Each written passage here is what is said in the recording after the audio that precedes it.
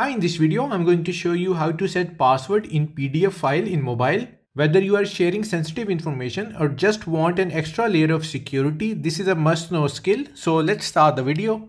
To log PDF file with password in mobile phone, open the link given in the video description. It's a free online tool through which you can encrypt PDF file with password right on your mobile device. Now tap on choose file button to locate and upload PDF file in which you want to add password. So this is our PDF file, select it and then tap on done button. It's uploading. In type password, enter the password that you want to set. Then repeat the password and then tap on protect button. Encryption is complete now. Now tap on download button.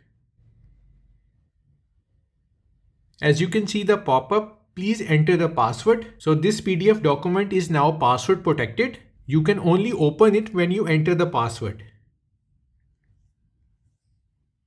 So that's how to set password in PDF file in mobile. Thanks for watching and don't forget to hit the like button and do subscribe to my channel for more PDF guides.